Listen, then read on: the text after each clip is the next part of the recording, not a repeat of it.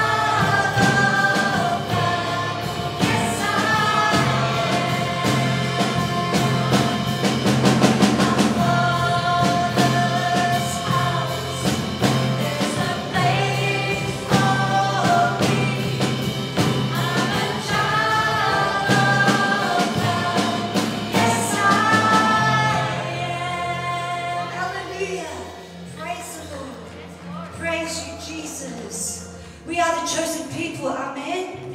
In 1 Peter 2 4, it tells us that as we, come, as we came to him, the living stone, Jesus, who was re rejected by many, chosen by God, and precious to him, precious to God. Jesus was precious to God. So we also are precious to God, like living stones. We are being built into a spiritual house, to be holy priesthood. That we are going, we, every day that we are being sanctified, to become holy, to be salt and light on the earth. Our firm foundation is in Christ. So we thank you, Jesus, for you are our hope. We thank you, Holy Spirit.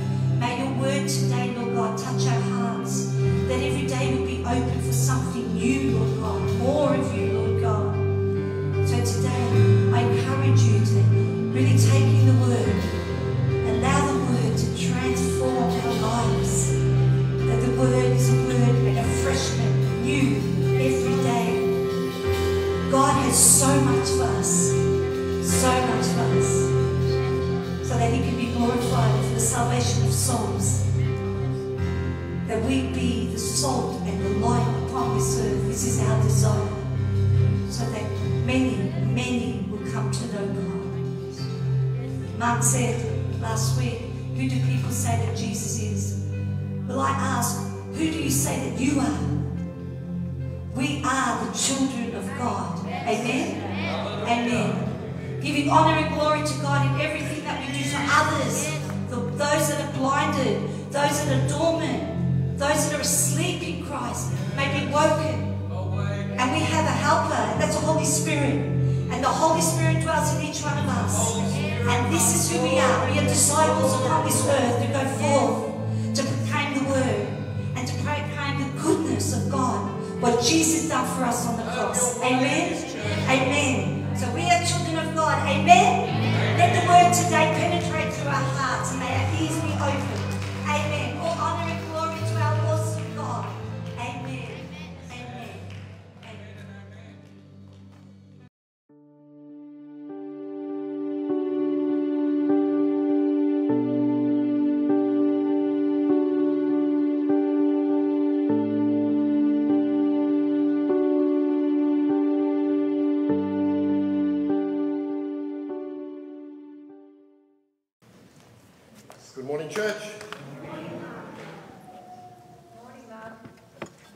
We've just sung those words I choose to be holy, set apart for you. You want to do the Lord's will? Part of His will is for us to share around the Lord's table today.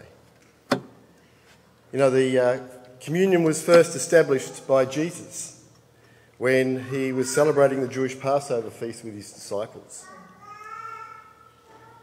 The Passover meal celebrates how God passed over the Jewish homes and spared them from the death of the firstborn. And it also celebrates them, God's leading out of slavery in Egypt. It was at this meal that Jesus changed the meaning of the Last Supper as it relates to believers in Him. For the Jews of today, they still follow God's command to eat the meal every year in celebration of his leading their ancestors out of slavery. But Jesus is telling all Christians to eat this meal in remembrance of him and what he has done for us. And ever since then, Christians has, have observed this meal. The early Christians met secretly in people's homes to remember the death and resurrection of the Lord Jesus Christ. And since then, the church has been celebrating what we call the communion service. I'm going to look at some scripture now. It's probably quite familiar to you. We read it most weeks. But I just want to reflect on that a little bit more today as uh, we prepare ourselves for sharing in the Lord's Supper. So we're going to look at 1 Corinthians chapter 11 and those verses from 23 to 30. For I received from the Lord what I also passed on to you. The Lord Jesus Christ, on the night he was betrayed, took bread, and when he had given thanks, he broke it and said, This is my body, which is for you. Do this in remembrance of me. Verse 25 In the same way, after supper, he took the cup, saying, This cup is the new covenant in my blood. Do this whenever you drink it in remembrance of me. For whenever you eat this bread and drink this cup, you proclaim the Lord's death until he comes. Verse 27 So then, when whoever eats this bread or drinks this cup of the Lord in an unworthy manner will be guilty of sinning against the body and the blood of Christ.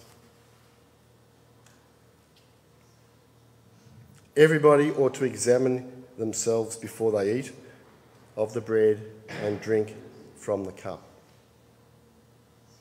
Verse 29 says, For those who eat and drink without discerning the body of Christ eat and drink judgment on themselves. That is why many of you are weak and sick, and a number of you have fallen asleep. These words come from the Apostle Paul, sharing what, as he said, he learnt from Jesus Christ himself.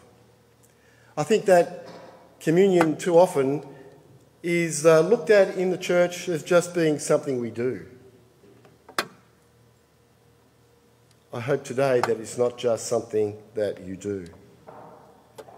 In reality, it's an opportunity for Christians to worship Jesus by remembering the sacrifice that he was willing to make for our sakes. But like all other memories, we cannot remember if we don't have a personal experience or involvement in a situation. For example, you can't remember the first time I ever rode a horse because you were not involved. All you could do would be hear about me telling you the story of me riding a horse. In the same way, unless we are personally invested in the thing we are trying to remember, all we can do is hear about people's memories of it.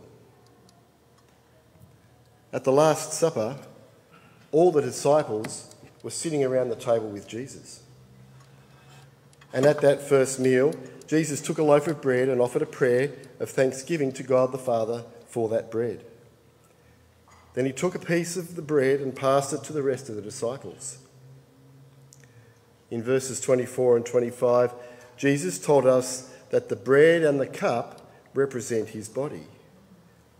Just as his body was broken and drained for our sakes, the bread is broken and the cup is drained at the meal. And we are called to remember that each time we partake of these emblems. But if we haven't given ourselves over to Jesus and taken him as our Saviour and have no relationship with him, therefore we have no memories of what he has done for us. Does that make sense? We cannot remember what we have never experienced. So, just as you can't remember the first time I ever rode a horse because you were not there to experience it, all you're able to do is hear about it.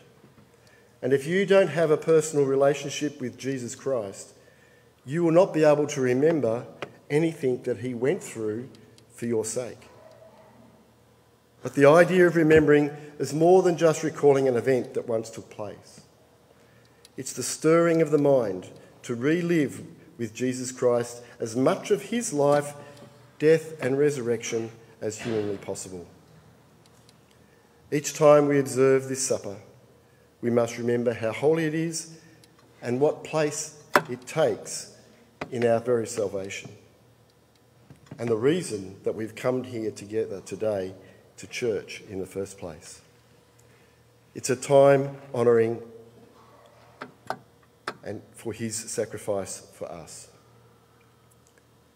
Verse 26 tells us that as we do these things, we are proclaiming to ourselves and to others the fact that Jesus died for us and promised to come back for us. So, what do we remember? We remember what God's word says about Jesus. We remember that he left heaven to be born in a human body. We remember that he came poor so that we might be rich. We remember that he bore our sins on his very own body on that tree of Calvary. We remember that he shed his blood for our redemption. And we remember that he conquered death forever for us. And he ascended, ascended back to heaven to the Father. Communion is also a time of self reflection. Verses 27 and 28 give us a clear warning about how we are to partake of this meal. We must ensure that our hearts have nothing in them that would distract our focus away from the Lord Jesus Christ. We're told that if we eat this meal in a manner that's not worthy of Jesus, we are pur- purposely sinning against him. That's why Christians should never take the emblems if they have something on their hearts, such as unforgiveness. If you have something on your heart today, such as negative feelings towards someone for something, you need to deal with that before you partake. It may even mean that you shouldn't take communion this morning. And if that's the case, there's nothing to be ashamed of. In fact, it's everything godly to do until your heart is clear of any such sin. And communion is a time of personal declaration. It's possible for a lost person to partake of the Lord's Supper and never be saved. This event in itself has no saving power. However, for those who are saved, it's a time for us to declare publicly that we believe in his death and his resurrection and that they were for us.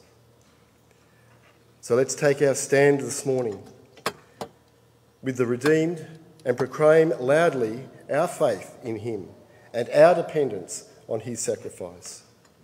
The Lord's Supper is a prime time to identify yourself with the Lord Jesus. If you wish to partake this morning, I invite you to come and take a piece of bread and a cup and take them back to your seats. In verse 24 of 1 Corinthians, it says, Jesus said, This bread represents my body, which is being given for you. When you eat this bread, do so in remembrance of me. Let's just pause for a moment, remember Jesus, and then eat together.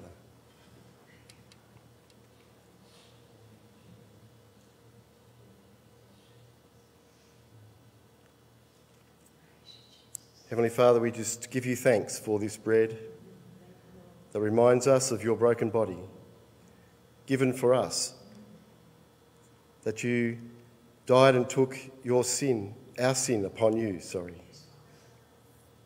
You were sinless, the only person who ever walked without sin.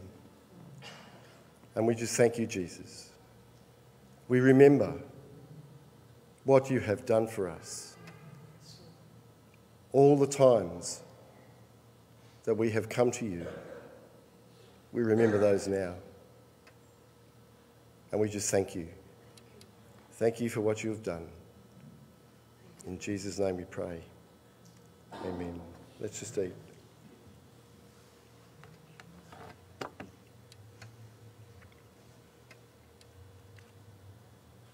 And in verse 25, Jesus continued by saying, This cup is the new covenant between God and his people, an agreement confirmed by his shed blood. Each time that you drink this cup, do it in remembrance of me. That's Jesus. Let's drink together, remembering the new covenant we have with God because of Jesus' death on the cross.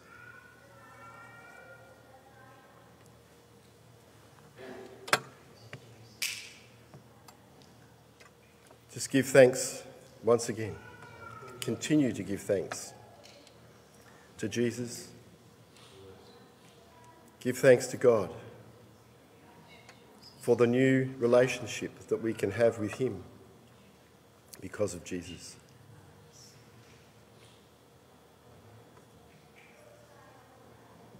We thank you, Heavenly Father, that you gave us your one and only Son, so that if we believe and trust in Him, we have everlasting life with you.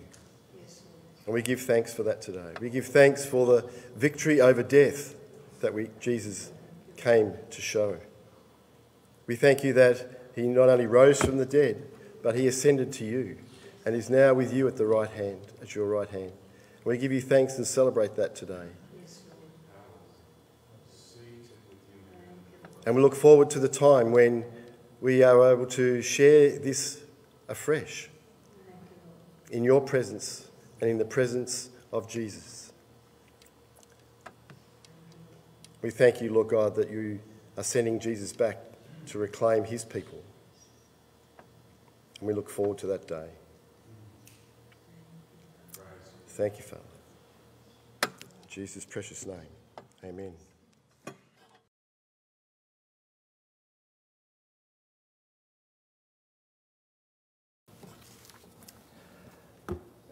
We are progressing through the book of uh, Genesis.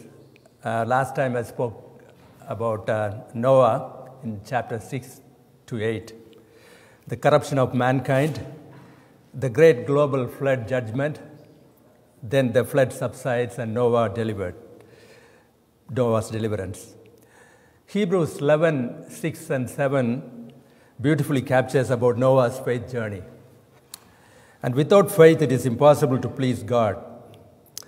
For whoever would draw near to God must believe that He exists and that He rewards those who seek Him.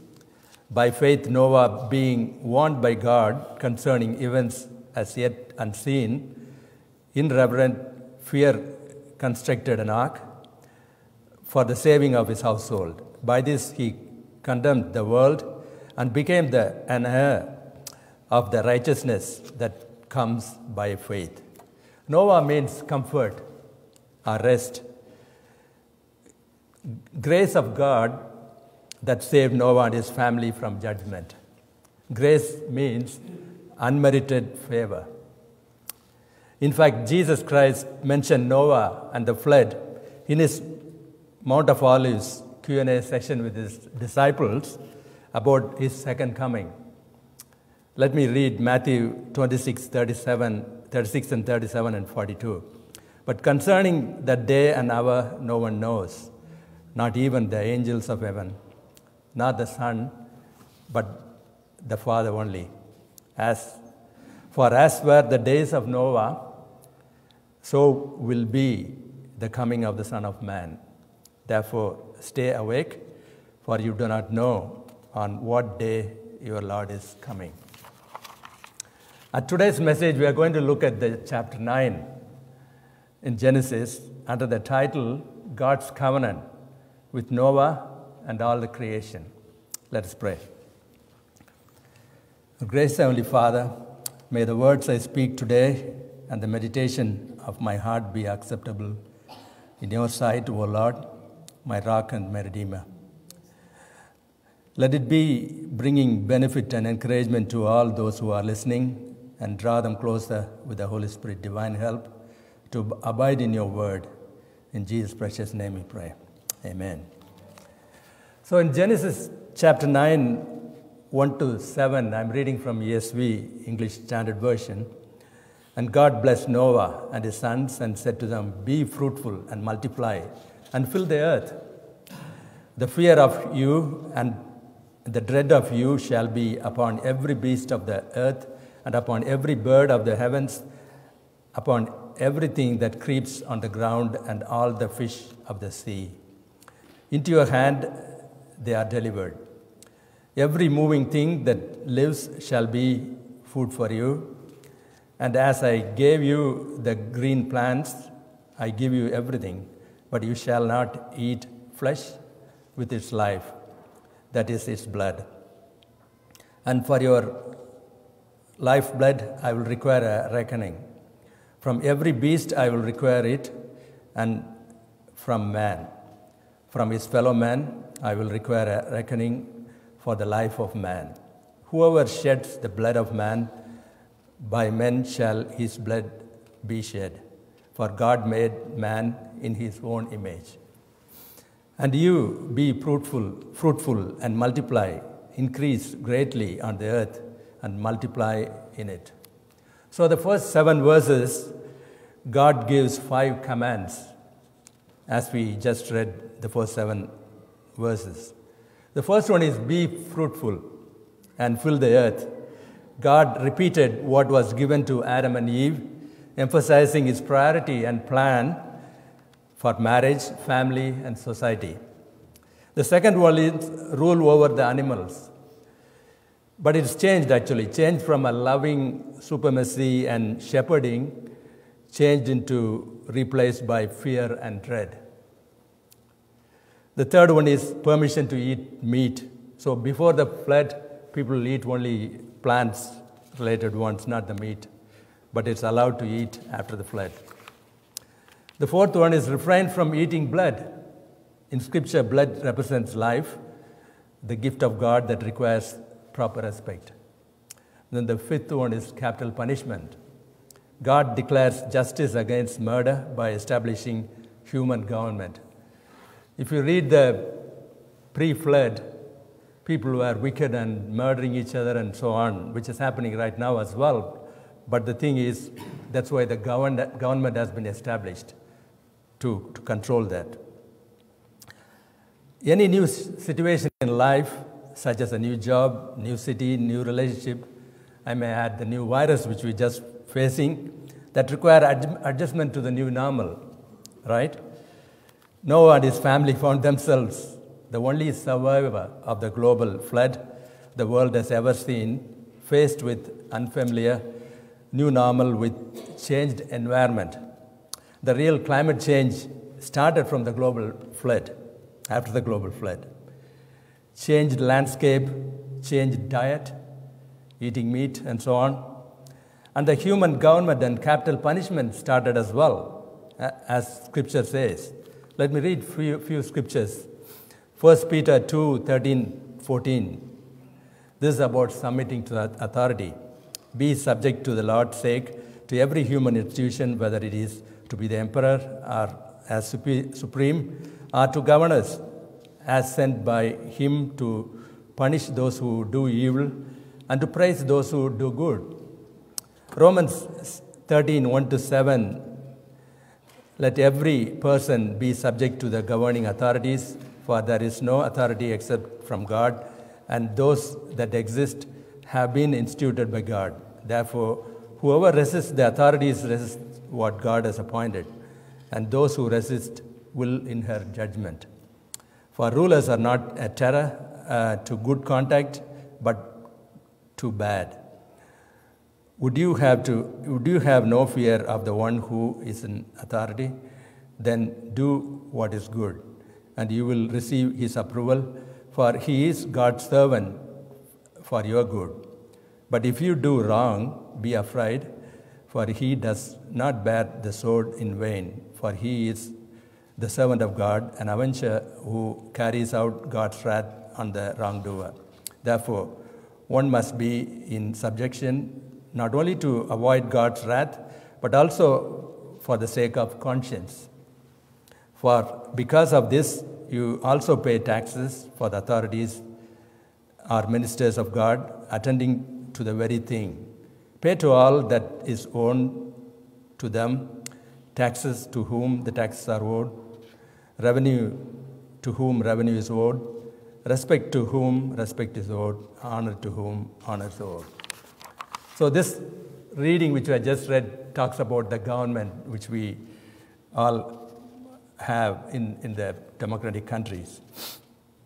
Matthew 26 52. Then Jesus said to him, that is to Peter, Put your sword back into its place, for all who take the sword will perish by the sword. Bible also urges to do good, pray for all people and obey God. Titus 3:1 says, remind them to be submissive to rulers and authorities, to be obedient, to be ready for every good work.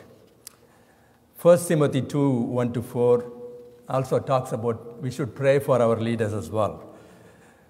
First of all, then I urge that supplications, prayers, intercessions, and thanksgiving be made for all people, for kings, and for all who are in high positions, that we may lead a peaceful and quiet life, godly and di- uh, dignified in every way. This is good, and it is pleasing in the sight of God our Savior, who desires all people to be saved and to come to the knowledge of the truth. In our life group on Thursday, we discussed the power of tongue in James chapter 3, 8, and 9. But no human being can tame the tongue. It is a restless evil, full of deadly poison. With it we bless our Lord and Father, and with it we curse people who are made in the likeness of God. So this gives a clear warning about what we see, what we talk is really important too. Acts 5:29, but Peter and the apostles answered, "We must obey God rather than man." When it comes to obeying things, obviously the first one is we have to obey God because everything belongs to God. Romans 6:23, "For the wages of sin is death, but the free gift of God is eternal life in Christ Jesus our Lord." Amen. Let's have a quick look at what has happened post flood changes in the world and the earth. The thermal blanket has gone. There is a canopy theory of atmospheric water sh- shield protected the earth from cosmic radiation, hence longer lifespan prior to the flood. Because there was a water ball canopy theory. That's a theory, obviously.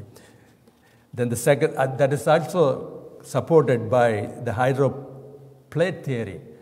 The flood due to the 40 days of rain, also the fountains of the deep raised and prevailed for 150 days. The Bible also talks about that. The water came from underneath and also from above to fill the whole global flood. So the atmospheric pressure has been reduced to 50% as well after the um, global flood.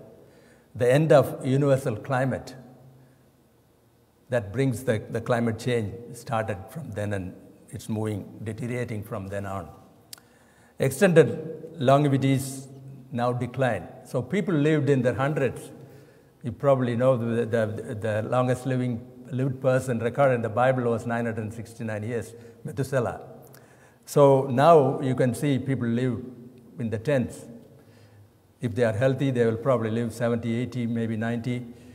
And there is a maximum put on in the Bible, it's written as well. It says 120 years after the flood.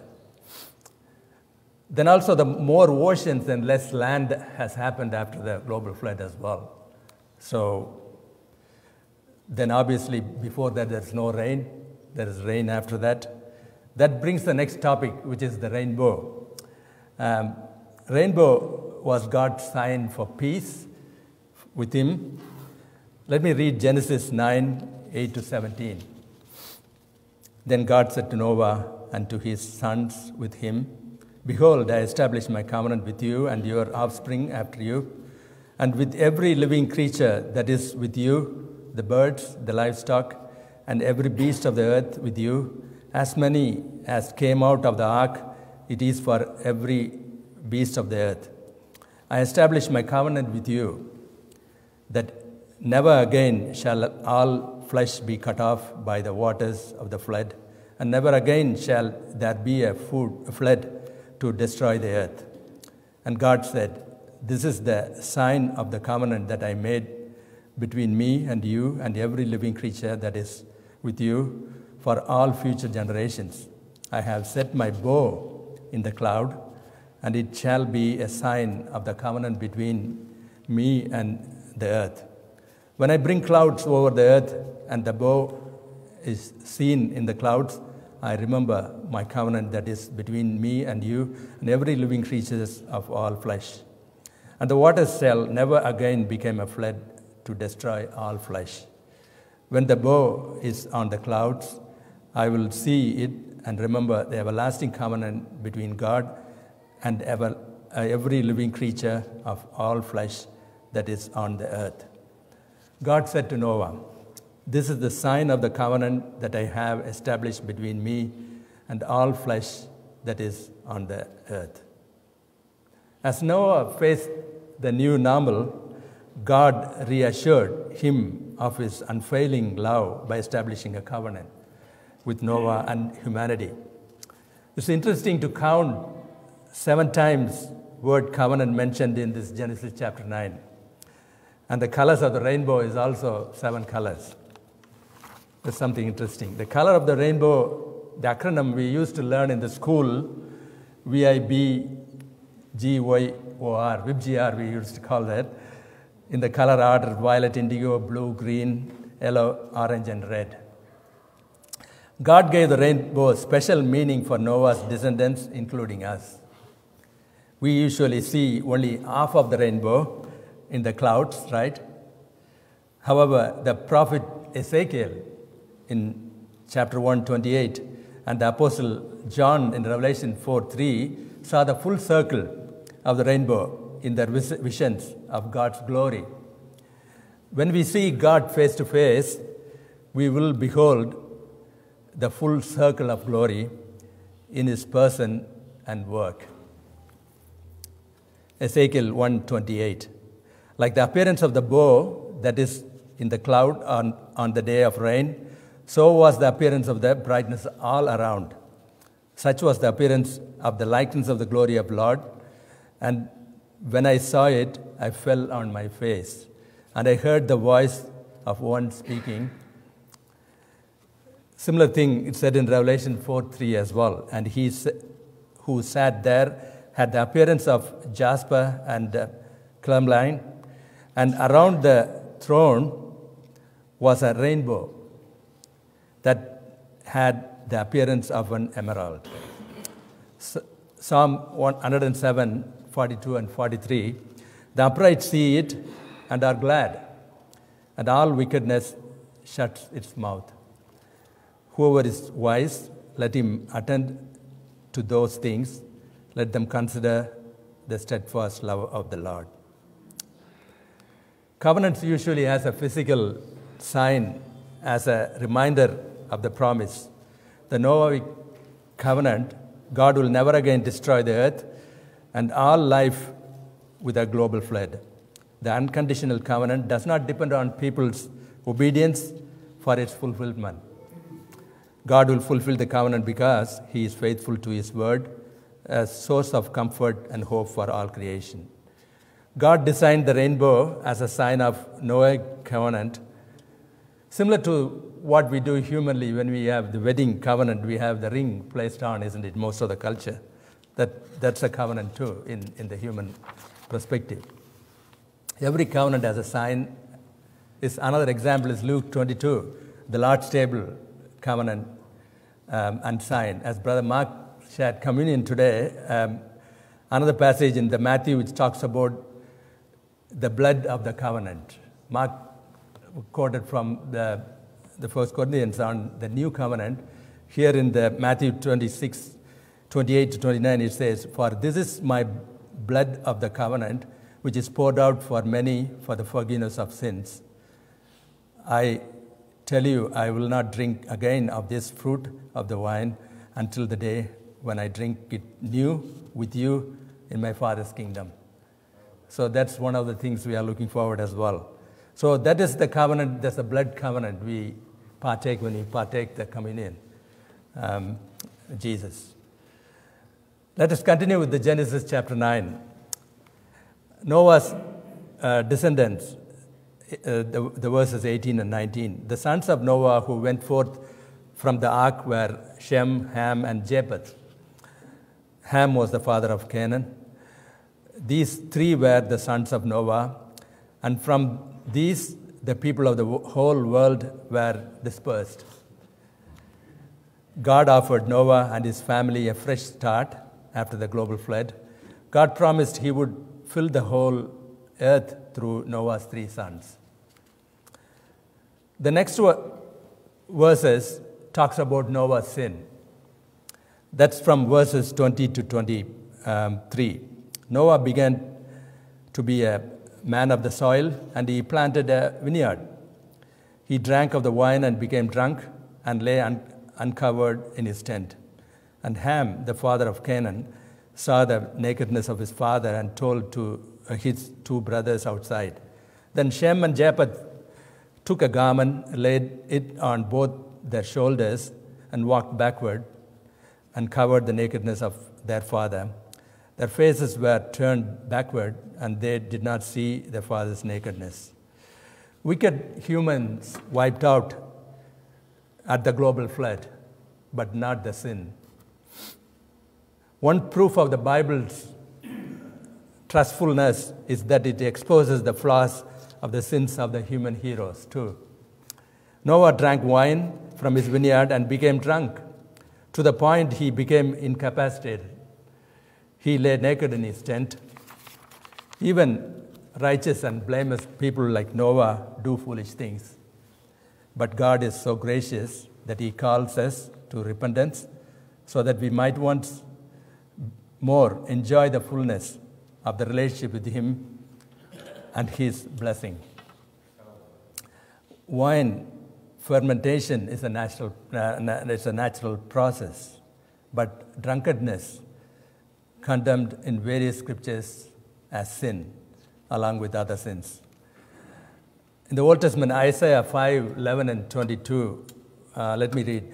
Woe to those who rise up early in the morning, that they may run after strong drink, who tarry late into evening as wine inflames them.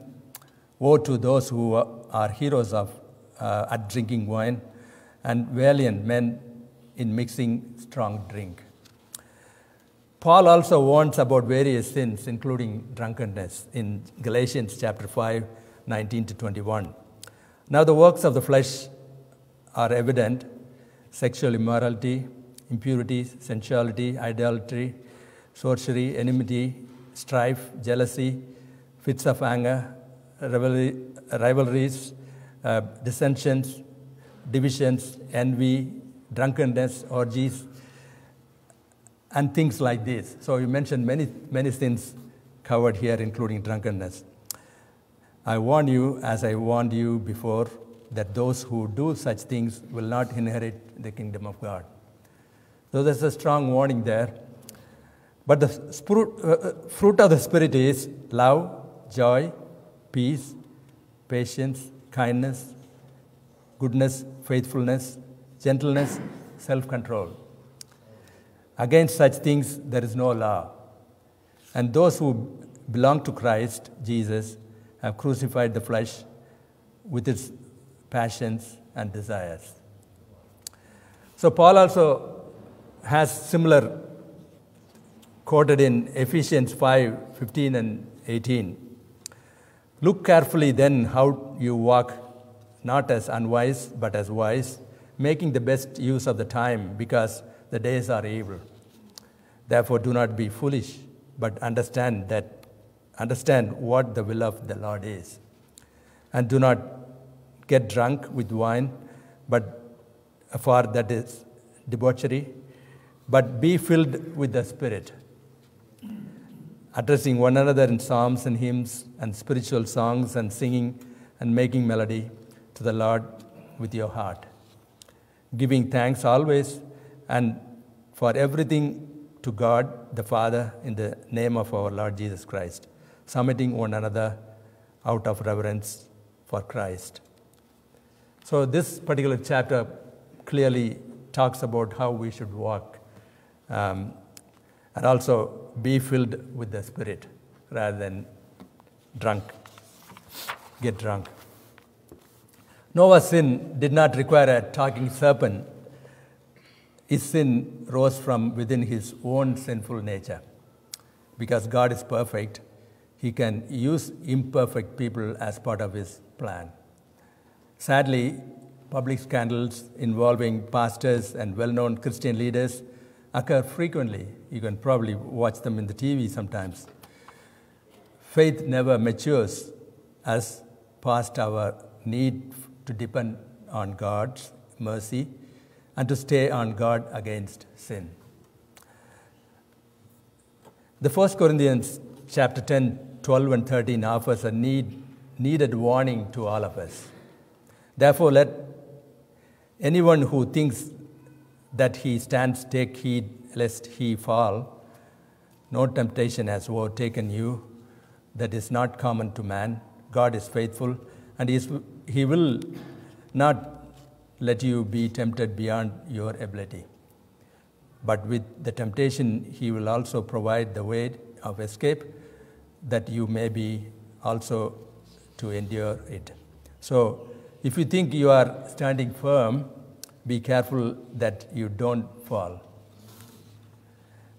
Ham saw his father's nakedness, and rather than protecting him, he told his two brothers. It's, a, sort of a form of a gossip. Shem and Japheth chose the honorable response of refusing to speak of their father's embarrassing exposure. They entered the tent backwards to avoid dishonoring Noah and covered his nakedness. This illustrates the true the truth love does not delight in evil. 1 Corinthians 13 4 and 6 says, Love is patient and kind. Love does not envy or boast. It is not arrogant or rude. It does not insist on its own way. It is not irritable or resentful. It does not rejoice at wrongdoing, but rejoices with the truth. The sins of others can make us feel self righteous sometimes and superior if we do not honestly assess our own weaknesses. Only God's grace keeps us from sin. When you understand the grace God extends to you, the question is do you freely offer grace to others as well? When we say the Lord's Prayer, forgive us our sins as forgive those who sin against us. So that actually covers this aspect here as well. Noah's prophecies regarding his three sons. The next part of this chapter 9 is from verse 24 to 29. When Noah awoke from his win, uh, uh, wine and knew what his youngest son has done to him, he said, Cursed be Canaan. Um, a servant of servants shall he be to his brothers. He also said, Blessed be the Lord, the God of Shem, and let Canaan, let Canaan be his servant. May God enlarge Japheth, and let him dwell in the tents of Shem, and let Canaan be his servant. After the flood, Noah lived 350 years. All the days of Noah were 950 years, and he died. Noah was a great true, true prophet, and for 120 years he warned the wicked people before the global flood, uh, and judgment is coming. He, he warned them and foretold them, and it happened as he told. He also prophesied about his three sons and their generations. Here, may God enlarge Japheth, and may he dwell in the tents of Shem, and may Canaan be his servant. God willing, let us check about these prophecies in the next chapters of Genesis in my next message. The question is Is the Noahic covenant binding today? Yes, it is. All generations have witnessed the rainbow God sets in place to comfort and warn sinners. God patiently shows grace and mercy until his day of the final judgment comes. On the day, his judgment will fall on those who have lived in opposition to him and his commands. When rainbow appears, those who trust God can rejoice.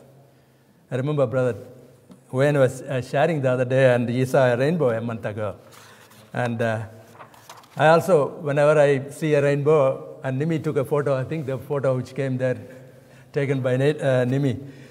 Um, yeah, God's patience, mercy, and grace being comfort to those who, know, love, and trust Him. Believers like live by faith in God's faithfulness. In concluding this message, there was no rain before the global flood, and the rainbow is association, associated with rain, obviously. The bow represents battle bow, the battle between good or evil, believing truth versus believing lie. John 3:36, humans' sorry state and the way to escape has been mentioned there. John 3:36. Whoever believes in the Son of Son has eternal life. Whoever does not obey the Son shall not see life, but the wrath of God remains on him. Noah trusted, waited, obeyed, and praised God into a changed world, a new normal. He also worshiped God by building an altar, declaring that the earth and everything in it belonged to the Lord. The global flood cleanses the earth from wicked people, but did not remove the sin, sinful nature born within every human. Jesus Christ is the only person ever lived in this world who is from heaven, was the perfect, blameless man ever lived. In Hebrews 4:15, for we do not have a high priest who is unable to sympathize with our weaknesses, but one who, in every respect, has been tempted as we are, yet without sin. Noah had faith even without full sight of God's plan for redemption through his son Jesus Christ. Now we know that Jesus Christ, the Son of God and Son of Man, came to earth, lived a righteous life, and died in our place for our sin. He is resurrected from the dead and will return as King forever. God keeps his promises. Every promises in God's word will be fulfilled someday, even if we do not experience the complete fulfillment now. 2 Corinthians 1 20 and 22 says, For all the promise of God find their yes in Him, and that is why it is through Him that we utter our Amen to God for His glory. It's all yes and Amen.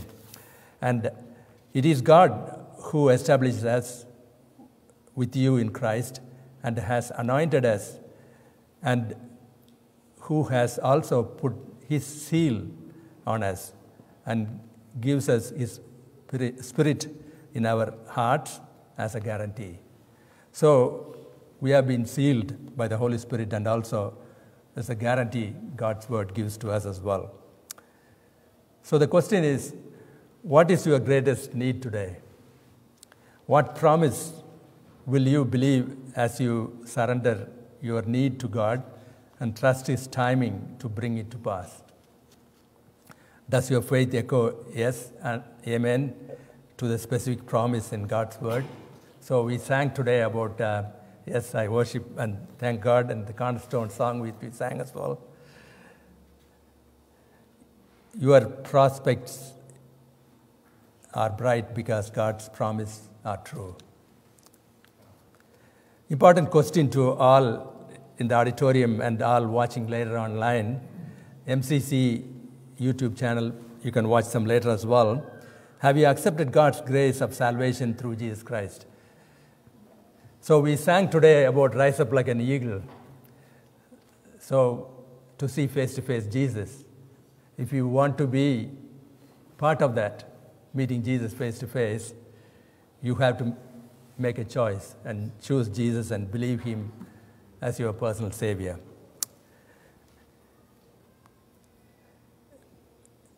If you haven't accepted Jesus before, please do not delay and accept God's love and grace now, as written in John 3:16. For God so loved the world that He gave His only Son, that whoever believes in Him should not perish, but have eternal life you may say a prayer like this, confessing to God that I am a sinner and believing that the Lord Jesus Christ died for my sins on the cross and was raised for my justification. I do now receive and confess Him as my personal Savior. Amen. Once you said the prayer from your heart, you have the assurance of salvation and eternal life. Never doubt it keep trusting, obeying, and following Lord Jesus Christ. The scripture which we are going to read gives us the double grip of grace. John 10 27 to 29. My sheep hear my voice, and I know them, and they follow me. I give them eternal life, and they will never perish, and no one will snatch them out of my hand. My Father, who has given them to me, is greater than all, and no one is able to snatch them out of the Father's hand. So, this double grip of grace with is clearly assures us the salvation. So, that's why you don't need to doubt it when you, when you see and accept Jesus from your heart. Once you became a born again believer, and receive the free gift of eternal life, you can also share the good news to your family and friends and also to anybody who comes across in your life as well, so that they may be also saved from the coming wrath and judgment and receive God's grace. Praise the Lord Jesus.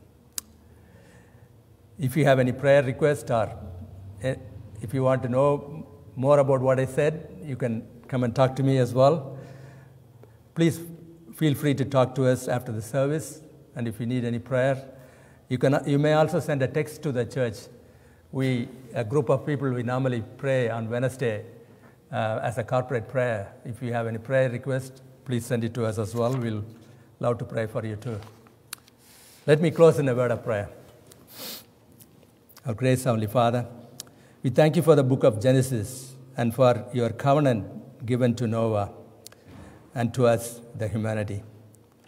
As we see the rainbow covenant in our lives keep reminding us about your true promises, love, and eternal grace. We thank you, Holy Spirit, for indwelling in us and helping us with your divine power. We pray that we commit ourselves to follow you, Lord Jesus, deeply rooted and established in faith, to serve you with thanksgiving. In Jesus' precious name we pray. Amen. Thank you.